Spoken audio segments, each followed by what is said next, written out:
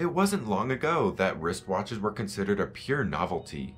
Before they were diving into trenches or soaring above the sky, wristwatches were seen as a delicate liability, prone to the elements. A few cracked crystals and broken stems out in the world might still be a testament to this philosophy. As it were, the first wristwatch ever officially commissioned was designed for the Queen of Naples in 1812. This contributed to a view that the wristwatch was not for common use, but only for niche pageantry. Because of this mentality, the pocket watch prevailed as the default time accessory for most of the 19th century. As the thinking went, the pocket was a logical place to keep your timepiece from harm.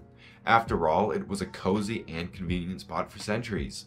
However, as industrialization and war became increasingly emergent in the late 19th and 20th century, the wristwatch became an invaluable utility.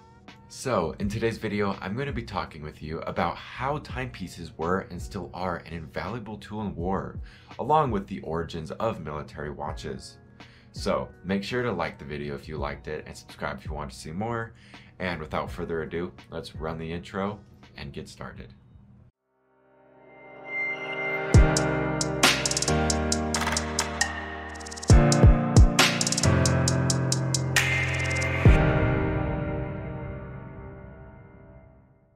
The first official use of military wristwatches is something of a debate among the historically minded.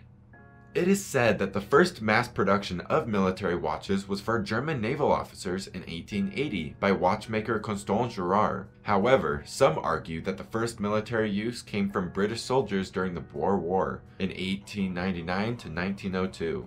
They were also potentially utilized by Japanese soldiers in the Sino-Japanese War from 1894 to 1895. No matter the origins of use, these rudimentary wristwatches were seen by their users as an easier way to synchronize time with navigational data or command orders on the battlefield. Having a hands-free approach to timekeeping lessened the chance for human error. In tough situations, freehand movement could keep a ship on course or keep both hands on a wheel with less distraction. Around this same time, a Brazilian aviator requested a similar piece from Louis Cartier for a similar need. The beginnings of a wristwatch revolution were found in these examples, but the real surge in use was due to the demands in World War I. The Great War created a demand for both navigational and battle-ready timepieces that could be easily read in combat situations. Hamilton, Omega, and Elgin were among the first to develop wristwatches for the war effort, especially after the US joined the fighting. Though many rudimentary wristwatches from this time were essentially pocket watches with straps of fabric soldered to them, perhaps a little chunky, their use in both the skies and in the trenches gave soldiers the overall ease of use they required.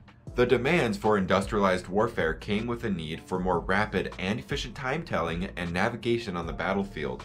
The wristwatch exceeded in its capability to provide for this need.